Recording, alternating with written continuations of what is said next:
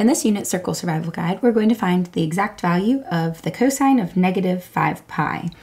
And we'll be using the SARC method in its abbreviated form because our angle, negative 5 pi, is actually a quadrantal angle, which just means its terminal side falls on an axis. So we are abbreviating this method to the S and C method. So here's our quick outline for this method. We only need to sketch the angle's terminal side, to get the coordinates, and then we'll calculate our trig ratio. And we're doing that for the cosine of negative 5 pi. So two things to notice about our angle. It's negative, which means we're rotating in the clockwise direction. And the second thing is that it's more than one clockwise rotation, um, because one clockwise rotation would be negative 2 pi.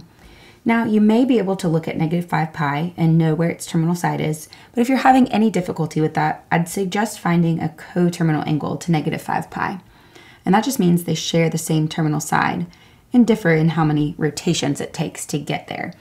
So all you have to do to find coterminal angles is add 2 pi. So we can add 2 pi, and we know that negative 3 pi would be coterminal to negative 5 pi. If you still weren't really happy with sketching that, just add another 2 pi, and you'll get negative pi. So negative pi is coterminal to both negative 3 pi and negative 5 pi. The terminal side is in the same place. We just rotate differently to get there. All right, so let's go ahead and sketch that. Remember, we're rotating clockwise because of that negative sign in front of our angle. So here's 0, here's negative pi over 2, here's negative pi. It's a half rotation in the clockwise direction. So let's go ahead and sketch the terminal side. And remember, we name this a quadrantal because the terminal side is there on the axis. It's on the negative part of our horizontal axis.